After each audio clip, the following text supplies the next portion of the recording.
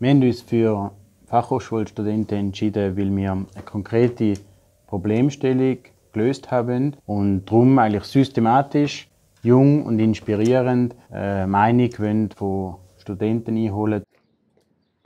Die Zusammenarbeit mit den Studierenden haben wir als sehr intensiv empfunden, aber auch als sehr gut. Man muss sich vorstellen, dass wir diese Gruppe haben müssen in Windeseile in unsere Pferdsportwelt reinholen. Und dann haben wir uns über die fünf Monate hinweg miteinander entwickelt und miteinander uns austauscht und haben uns jetzt sozusagen auf dem Höhepunkt mit Projektende verabschiedet. Ich würde so ein Praxisprojekt den Unternehmen empfehlen, die eine konkrete Problemstellung haben zum Lösen wo Studierenden Praxiseinblick geben Also eigentlich wirklich jedem Unternehmen.